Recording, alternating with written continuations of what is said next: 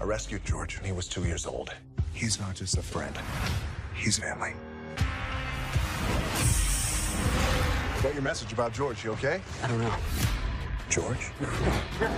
Is Amir, is he considerably bigger? No, he's definitely bigger.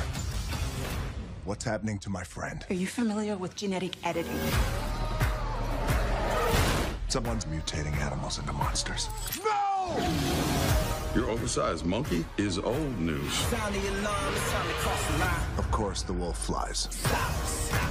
Oh, somebody stop me. Stop me, stop me. Please, somebody stop me. Stop me, stop me. Oh, somebody stop me. Let's go save the world.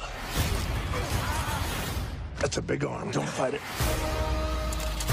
You know there are other ways of dealing with people, right? I do know that, yeah, but that's no fun.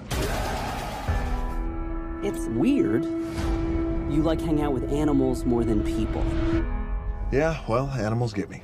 I rescued George when he was two years old. George never would have survived on his own. He definitely trusts you. Last night, George was seven feet and he weighed 500 pounds. George, you okay, buddy? You're scared. It's okay. This morning, he's nine feet, pushing a thousand. What's happening to my friend? Are you familiar with genetic editing? Changes will be incredibly unpredictable. Is he the only one? Oh, you didn't know about the 30 foot wolf?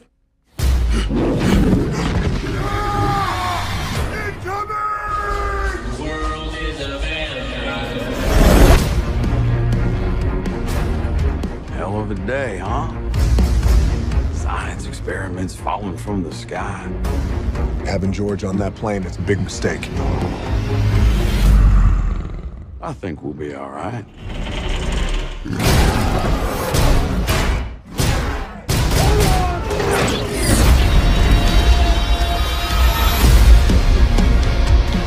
Let's go save the world. It's coming back to me. Coming back.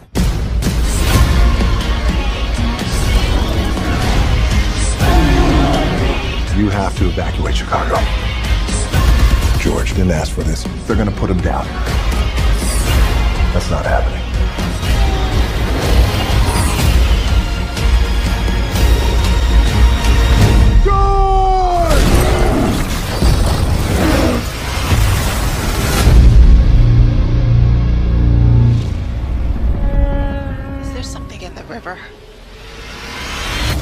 just thinking the only thing that's missing right now is a giant crocodile.